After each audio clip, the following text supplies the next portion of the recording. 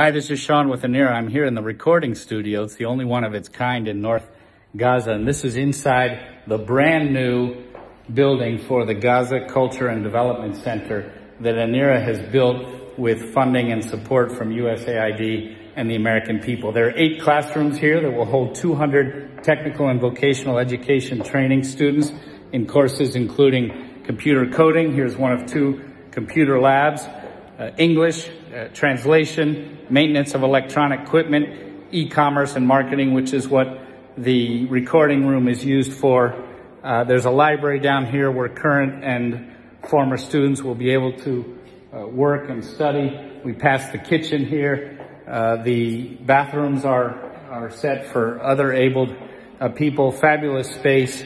They're going to have 200 people starting in two weeks when all the furniture is here and probably have 600 people throughout the year. So thank you, USAID.